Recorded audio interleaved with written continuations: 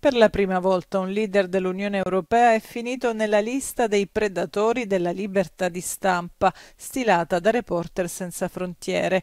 Si tratta del primo ministro ungherese Orban.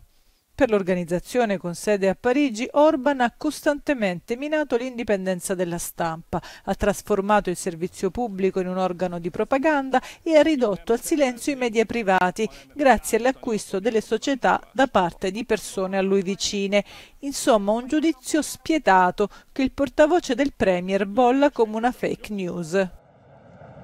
Non poteva mancare nella lista il principe ereditario saudita Mohammed bin Salman, considerato il mandante dell'omicidio del giornalista Khashoggi, scomparso nel 2018 nel consolato dell'Arabia Saudita a Istanbul.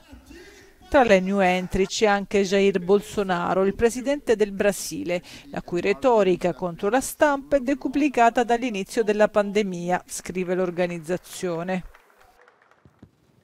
C'è anche la governatrice di Hong Kong, Carrie Lam, un burattino nelle mani del presidente cinese, secondo Reporter Senza Frontiere.